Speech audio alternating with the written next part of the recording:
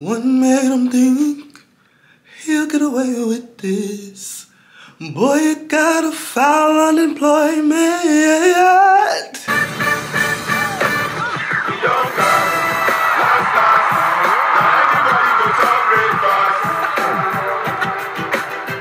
Come on, Tony! What made him think he would get away with this? Now he gotta unemployment. Get him, girls. Come on, Tony. Been pondering over this topic for the last couple of days. I said, I don't know what I'm gonna say. I'm gonna let everything come out slowly, and everything that I feel like that I needed to collect has came out, girl. So I'm here with my opinion uh, about this teacher that got fired, plus uh, 50 million other things. But honey, this is a What's TJ Lent. Um, usually I don't uh, um, open up videos, you know, acting like I'm Toni Braxton. Look here, um, child. I'm here with a What's TJ Lent. Let's roll the intro. Let's get into the tea. Enough singing, okay?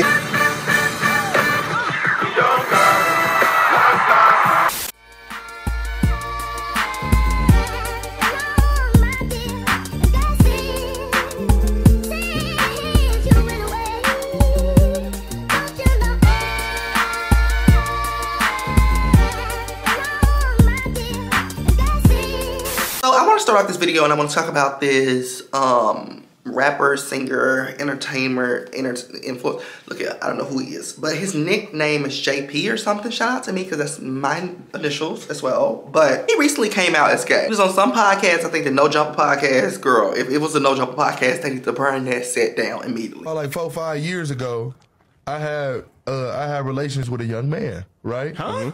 No Yeah. Diddy. No, No, no, yeah, nigga. This shit ain't no motherfucking joke. This shit is real.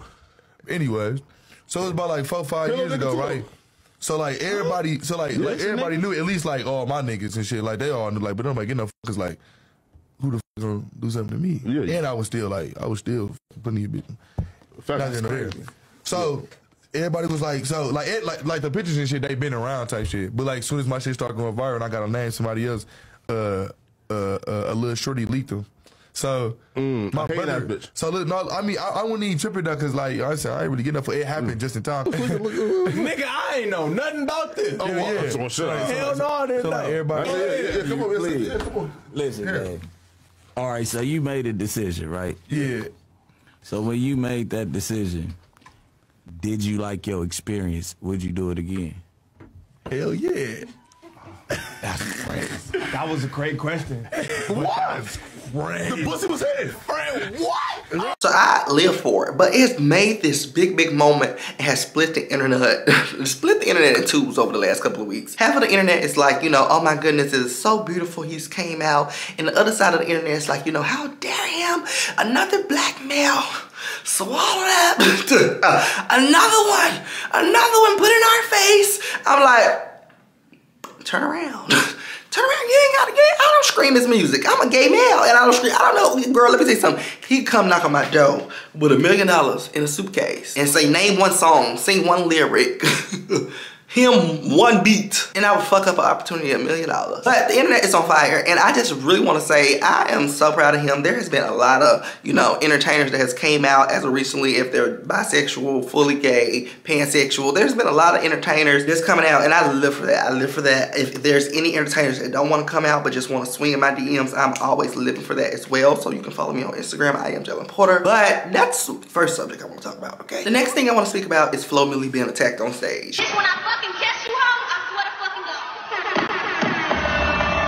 Flo Milli, Alabama comes out, okay, baby? It's giving very much Mobile, Alabama, girl, Mobile, it comes out, and she's going off and she storms off stage. The same situation happened not with Flo Milli, but with Ari Lennox.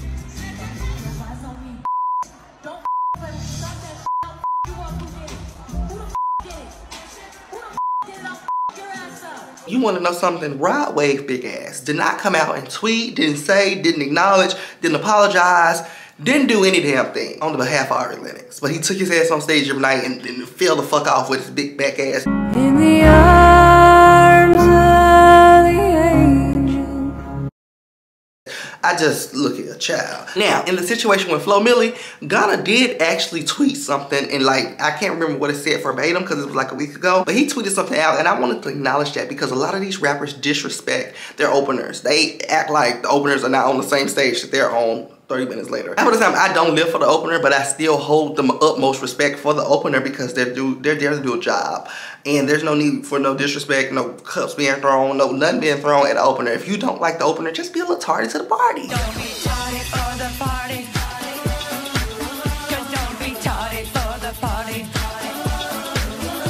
Tickets are not general admission no more. You don't have to show up super fucking early to get a seat. Okay, bitch? It's given very much reserved seat and show up tardy to the party. If you don't like who opening, show up tardy to the party. Go get you a couple cocktails, get you a chicken tender or three. Girl, do something else. Don't disrespect the artist. Cardi B. So Cardi B has, girl, became very famous over the last couple of months for arguing with her fucking fans. And I'm just fed up. I'm tired. As a Bardi gang, I haven't I haven't had the honor of being cussed out.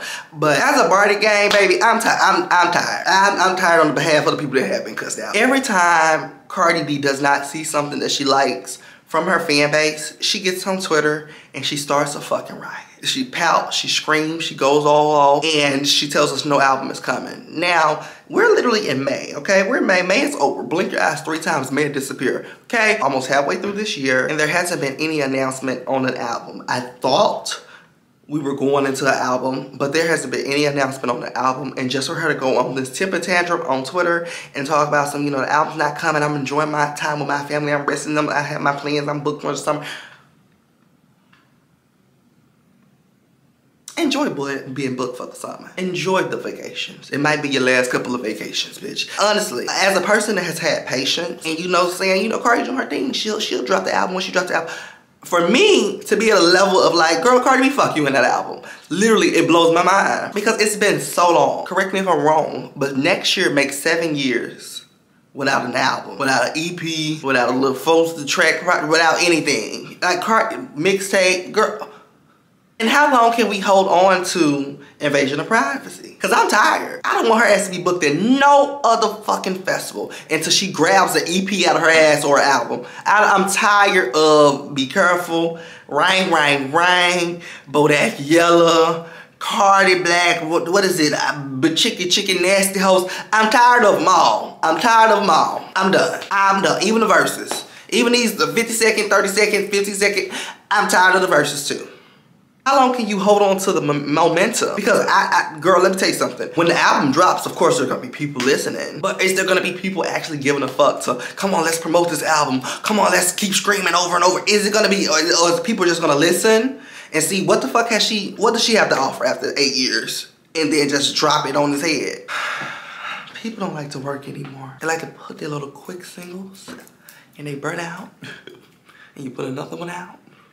The album burns out. Come on, Beyonce. Now, uh, Cardi B, I'm not gonna see and talk on your wig whole video. We're gonna move right on, baby, because there's other things we gotta talk about. Um, Megan Thee Stallion, where the fuck is your album? On the topic of albums, where the fuck is Megan Thee Stallion? Let's bring both of the sisters in, Cardi B and Megan Thee Stallion. Where the fuck is Megan Thee Stallion? Megan just started her tour yesterday, which was a phenomenal tour. Megan, you're gearing up to go on, I think, about 30, 40 dates with no motherfucking album. The set list, it is cute. Let me pull this set list up. The set list on her tour is, is pretty, pretty cute. But baby, it would look even motherfucking fine like wine if it was a brand new album attached to this goddamn set list. Bro, Megan Thee Stallion opens up with his. Look at you, child. His was cute, but that's not what the fuck needs to open a tour titled Hot Girl Summer. It just got ice cold in this bitch. his shouldn't even been performed live. It maybe a, a quick little interlude, but that's my that's that's my little talk. We go into Ungrateful, Thot Shit, Freak Nasty, Megan's Piano, Gift and a Curse, The Hot Girl, Kitty Kat, Cobra. I love Kitty Kat. Cobra, Plan B, um, Cognac Queen, Big Ole Freak, Girls in the Hood, Boa, Sex Talk, Eat It, Eat It, Eat It, Sex Talk, Eat It, What's New, Tell them haters, what's, I love that one. Captain Hook, um, Southside, Forever Freestyle, Ride or Die, Pop It, Wanna Be, WAP, NDA, Don't Stop, Style and Freestyle, Cash Shit, Body, and Savage. Savage ending the show is very comedic, even with um how big of Savage was. I just, I don't know I don't know why it's ending the show. Also, I don't know why we opened the show with his. Regardless of how the songs are in order, the tour looked amazing.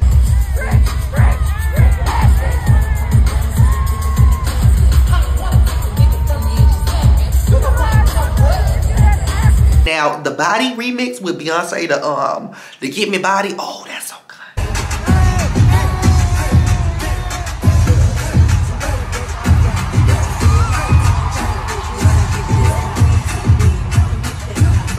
tour was really, really pretty. It looks really, really good. And congratulations to Megan Thee Stallion doing her arena tour with Glorilla. And I'm gonna be honest, baby. Megan Thee Stallion has sold this tour out because I know Glorilla ain't, and I love Glorilla. No shade, no, no shade, just honesty. I know Glorilla ain't selling no tickets. Maybe a couple, but not that many.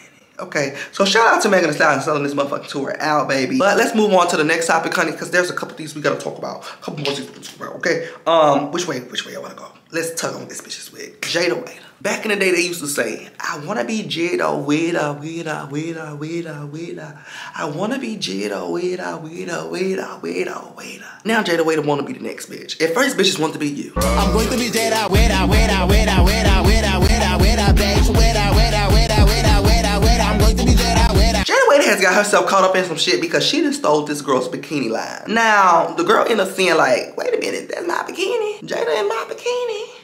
And finna sell it to a couple other bitches. so the girls went on social media and said, you know, Jayda Wayda just stole my bikinis. So Jayda Wayda ended up formally making an apology into the girl's DM. And the damn apology, if I ain't never read BS, bitch, it's certified that I done read some today. The apology was some bullshit. It was some bull. Oh, double, double L, triple L, fuck double, triple L, bullshit, girl. Jayda Wayda takes her ass in this girl's DM and says, Hi, I just want to say that I'm very sorry about all of this. I realized that you wasn't selling the bikinis anymore since 2021. I don't give a fuck if the bitch wasn't selling them since this Barack ass crap out of office. Bitch, Look here, there, there's no selling it. They're mine. Anyways, let me read the rest of the stuff. She said, I realized that you wasn't selling the bikinis anymore since 2021, so I didn't think it would be a big deal since there are plenty other brands with that same concept. I definitely understand how it made you feel because I've been a victim of things like this before. Now she sound like a fucking Karen. I have a, I promise, I have a black best friend cousin, niece, nephew, uncle, chihuahua. Bitch, girl, hush. She's talking about some, I definitely understand how it made you feel because I've been a victim of things like this before and I hate not to go about this the right way without taking accountability as a black female business owner as well. I say all that to say I will not be selling the swimsuit. Girl, of course you not. And if you was, won't nobody go buy it. You get you got caught up. Of course you can't sell it no more. Cut the inventory. It's a wrap. It's a wrap. anyway, she said, I will not be selling the swimsuit anymore that was inspired by your company. I wish you and your brand the best and most success. Maybe one day we can collaborate on something even hotter. Is it an underhanded compliment under there? Like, was it not? It was hot enough. Even hotter. It was, it was, oh girl, it was spicy, fresh out of the oven when you were stealing it, bitch. Ow! Oh. For her to steal this girl's brand, like literally see like, oh, that's cute. Okay, we're gonna do the same thing. We're gonna sell it. And then to know so much about the girl, to know that she hasn't been selling those bikinis since 2021. You, you knew so much. You knew so much, but did not reach out. And then have to put the, uh, we should collaborate in the future. Bitch, collaborate on this ass whooping. Where the fuck are you? Let's collaborate on this ass whooping. Where the fuck are you? That's what I want to DM her ass back. Are you out of your fucking mind? And it's just like, Jayda, you done had a, a couple cute pieces. But now it makes me think, like, how many pieces been stolen? Or is this your first, you know, slip up? Or have you beat some on some more pieces? Have you beat some on some more pieces from your Jayda Wait a minute line?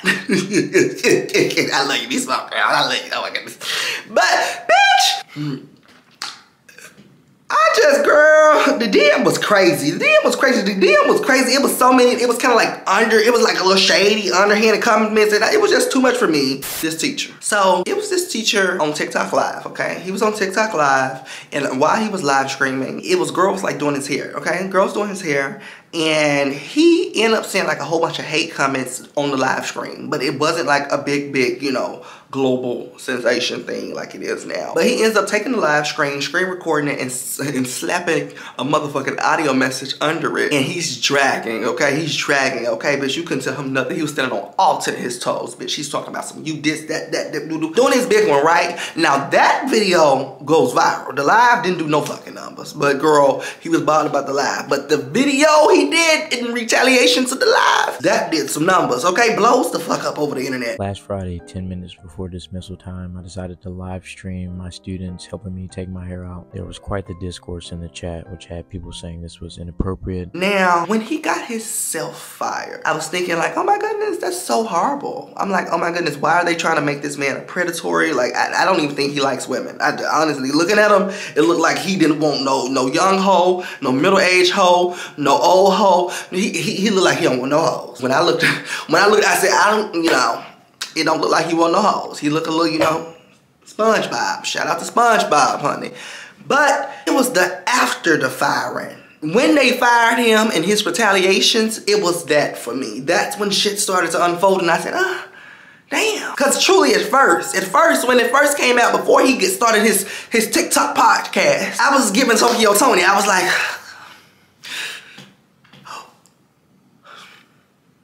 I ain't got shit to say, bitch. Surprise, bitch. I ain't got shit to say. That was me at first. that was me. That was literally me at first. But when he started that TikTok podcast, I said, oh girl, I got too much to say. No Queen Naja. Bitch, I said I got too much to say. Yeah, I got too much to say. So when he gets on TikTok, he has a mic and a headphone. I'm tired already. Now people are defending him. Of course, how else is he gonna make money? He just got let go from shot da da da. A mic and a headphone immediately, three hours after you've been fired, is comedic. I don't give a fuck how you try to label it. It's comedic, okay? But he has a mic and a headphones and he begins reading off text messages and DMs he's been receiving from the students that are just pouring out their love and just saying, you know, how missed he'll be. That's cute. But then he starts getting emotional. And I start saying, all right, calm down. I hope that you're okay. I, I, I, tried to see eye to eye with him. I said, all right, calm it down. Now, a couple days go by, and he's still potting on TikTok. this live stream, he's talking about his relationship with the girls and saying, you know, him being an ally and him doing this with the girls showed them how to have Potomac and um, romantic relationship. Romantic? Potomac, Even Potomac, Romantic Potomac. Baby, let me tell you something, sir. This is motherfucking school. This is motherfucking Keke Palmer. Bitch, no. This is motherfucking school. life when they get older when they seek platonic relationships or uh, or, or or romantic relationships they know what to look for so they're not manipulated they're not taken advantage of There's nothing that needs to be instructed here on how to obtain and keep a romantic relationship with these girls that have on school shirts and braids and motherfucking um, pinks in their hair. They're 12. They need to go fix their relationship with their motherfucking mama, auntie, and grandmama. They don't need to figure out nothing with no motherfucking relationship with a nigga. You give anybody a motherfucking mic nowadays. These motherfuckers get $20 mics and $50 couches and get on my motherfucking nerves. I am tired. And I was rooting, what Kiki, what, not Kiki, what I say, Tyra Banks say, I was rooting for you. We were all rooting, we were all rooting for you. But every day you take your ass on TikTok and embarrass us even fucking more. Every fucking day. Got something ignorant to say. I'm like, girl, cut, it, cut his fucking mic. What Nikki say? Cut his fucking mic. I'm blown away. Miss Jackson. I love y'all so much. Make sure you guys stay blessed. Um, leave a comment on any of the topics that I shared today if you care. Um, but I'll definitely see y'all in a different video. Bye.